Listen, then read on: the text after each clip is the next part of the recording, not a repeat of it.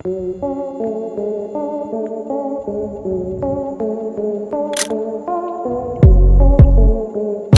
दोस्त होता है जो हर मुश्किल में हमारा साथ देता है। तो दूसरी तरफ़ एक दुश्मन हमें मुश्किल में डालता रहता है। दुनिया में ऐसे सात देश मौजूद हैं जो भारत से काफ़ी नफरत करते हैं। भूमिका में ज़्यादा समय ना लेते हुए हम सीधे पॉइंट पर आ जाते हैं। नंबर सात पर आता है ऑस्ट्रेलिया। ऑस्ट्रेलिया काफ़ी विकसित देश है। ऑस्ट्रेलिया और भारत के बीच कोई दुश्मनी नहीं है, बल्कि ये दोनों एक दूसरे के बड़े सहयोगी हैं। अगर भविष्य में कभी किसी तीसरे देश के साथ युद्ध हुआ तो दोनों देश एक दूसरे का खुलकर साथ ज़रूर देंगे। पर यहाँ पर मेन मुद्दा आता है जॉब्स का।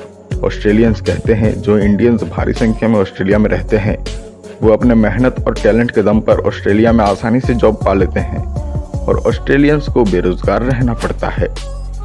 और ऑस्ट्रेलियंस भारतीय युवा से काफ़ी ज़्यादा नफरत करते हैं। नंबर छह पर आता है श्रीलंका। श्रीलंका और भारत दोनों एक दूसरे के पड़ोसी हैं, फिर भी इन दोनों देशों में कोई खास संबंध नहीं है। श्रीलंकन्स तमिल लोगों से काफ़ी नफरत करते हैं।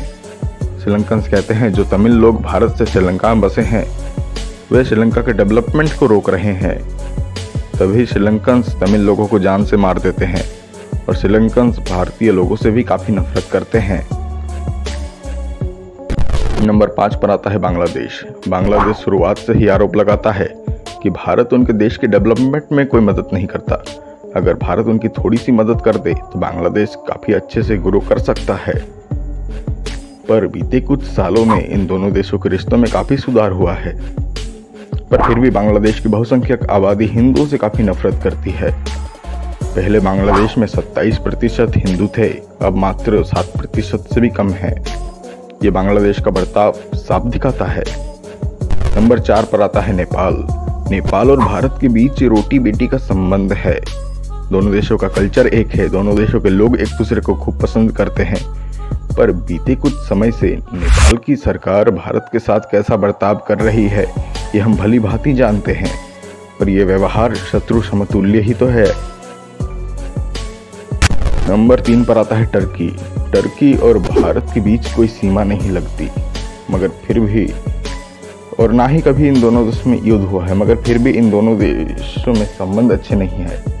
टर्की हमेशा हर अंतर्राष्ट्रीय मंच पर भारत का विरोध करता है। और ये विडम्बना तो देखिए कि हमारे ही देश के कुछ लोगों को भारत में डर लगता है, और उन्हें टर्की जाकर सुकून मिल जाता है।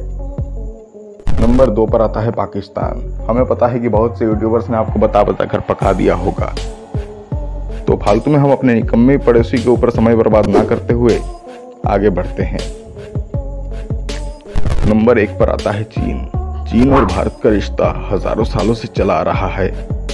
पर पहले के चीन में और अभी के चीन में बहुत फ़र्क है।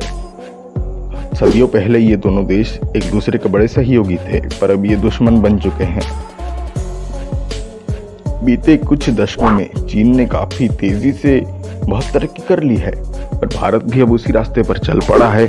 भारत में बढ़ते मैन्युफैक्चरिंग और एक्सपोर्ट को देखते हुए चीन अंदर से काफ़ी बौखलाया हुआ है। और चीन जानता है कि एशिया में सिर्फ़ भारत ही उसे रोक सकता है। चीन हर बार एलसी के इस पार घुसपैठ करने की कोशिश करता रहता है। और हाल ही में हुए गलवान घाटी की घटना ने चीन और भारत के संबंधों के और भी बिगाड़ के रख दिया है।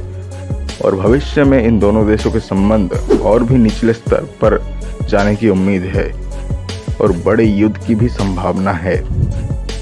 खैर, जो भी हो, भारत से नफरत करने वालों के नाम आप कमेंट में दो शब्द ज़रूर लिखिएगा।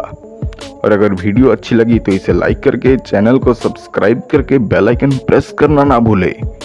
क्योंकि द प्लैनेट इन हिंदी आपके लिए ऐसे ही रोचक वीडियोस लाता रहेगा।